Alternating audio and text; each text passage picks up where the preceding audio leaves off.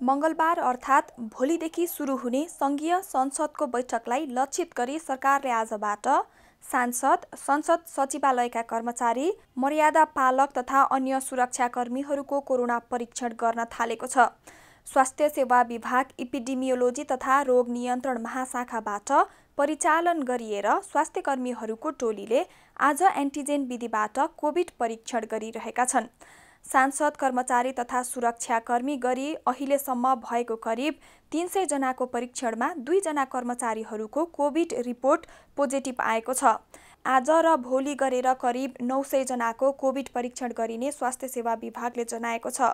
यसअघि सङ्घीय संसद सचिवालयले भोलिदेखि सुरु हुने बैठकका लागि कोभिड परीक्षण गराउन सूचना जारी गरेको थियो।